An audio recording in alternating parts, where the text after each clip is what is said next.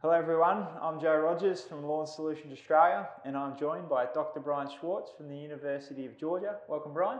Yeah, thanks for having me. Now, do you want to tell us a bit about yourself and how you became involved with TifTuf?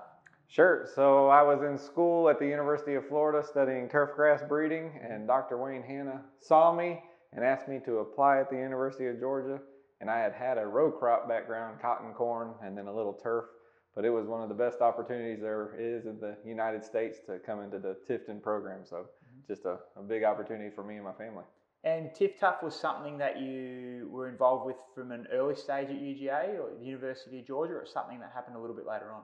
Yeah, so it's a really neat story as as goes long, long breeding programs that started there in Tifton in the 1950s or 60s. But Dr. Hanna actually bred TifTuf in 1992 and I arrived there in 2009. Mm-hmm. And, and my first day on the job, he took me to a field and he said, These 20 or 30 are our best varieties.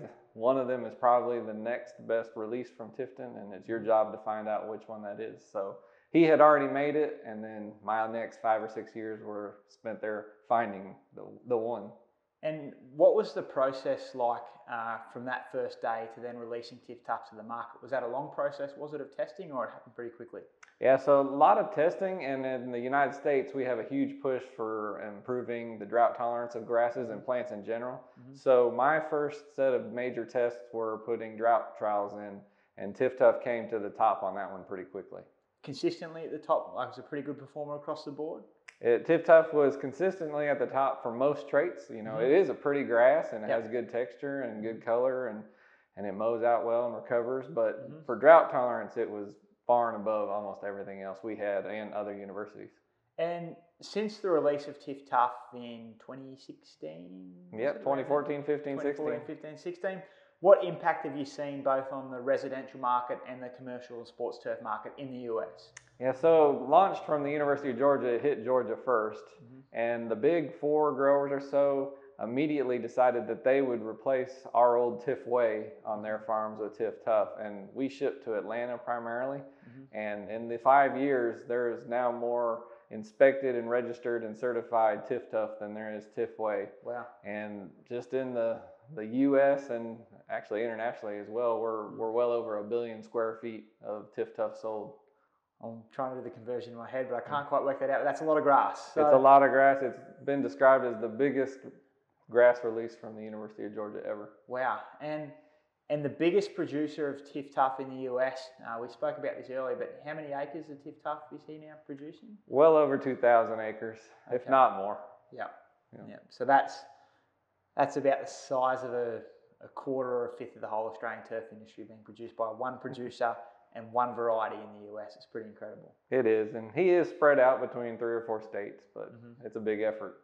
So where's it primarily sold in the US? Is it across the country, is it, or is it fixated to certain areas? We started out, uh, of course, we can't get too far north or we get into the cool season grass mm. realm, but mm. uh, started out in the southeast and moved west towards Texas and then all the way to California now. Yep. Um, but it's been a really neat partnership between you know the university res- researchers, but what really has probably made this grass is the sod growers themselves deciding to push it, to market it. Mm-hmm to not stay with the older varieties and to mm-hmm. take a leap. And, and for them, it was a leap of faith because yep.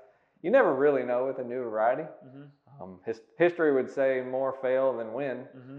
And so uh, I give credit to the sod growers for, for trying it one and then and then pushing it. Yeah, absolutely. We've um, very similar story here in Australia. There's a lot of I don't know if apprehensions are word, but but turf farmers or sod growers as you call them they've seen a lot of varieties come and go over the years. So getting them to, to dive in and try something new is often pretty hard. But we've seen the same sort of thing here. The ones who took it up early are the ones seeing the benefits now.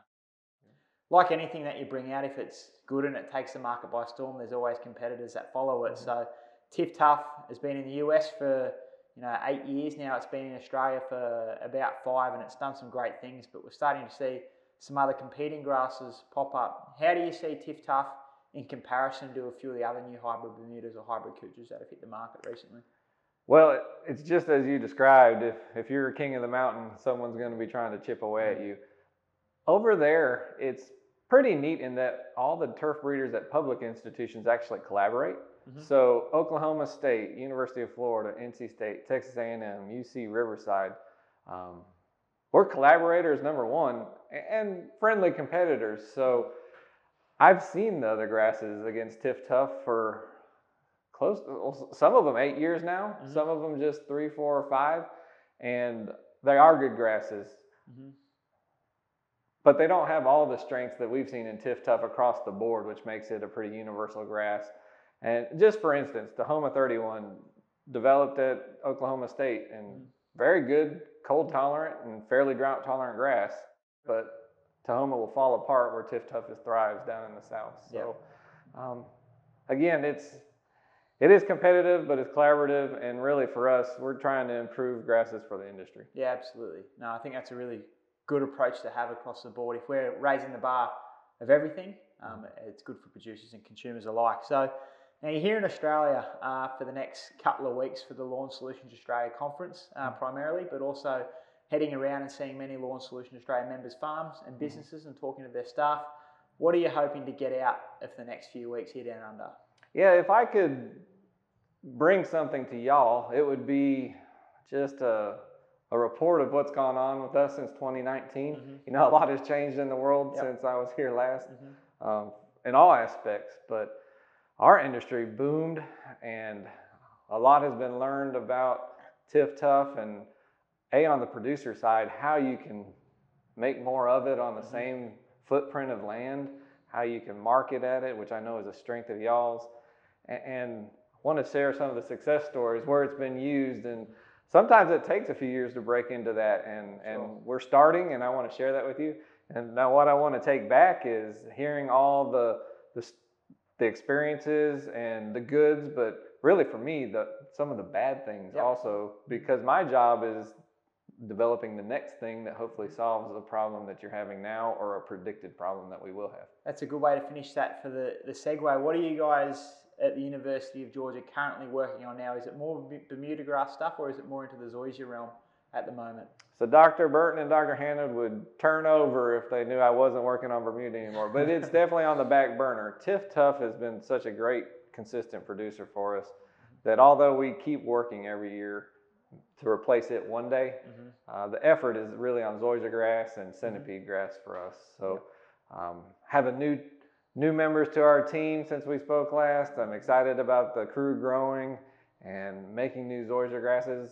Many of which some of the older ones y'all have here. I can't wait to see them and Yep. see how they're doing. And then also want to talk to you about you know the 2020, 2021 hybrids and mhm. what we're seeing now. So, just for a bit of scale for those watching, how many grasses would you you breed essentially per year? Is it an annual thing you work on, or It's definitely an annual thing, and we have different goals every year. Mhm. Just to give you a, a recap of 2020 and 2021 in zoysia grass, we planted 10,000 new zoysia hybrids, Wow.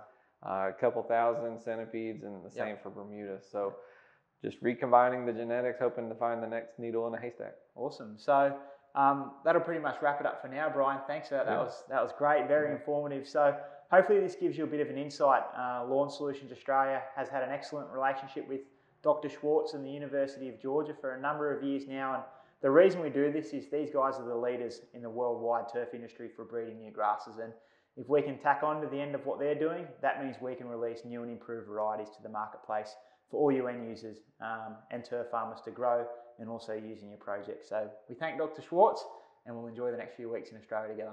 Yeah, I'm really happy to be part of this team.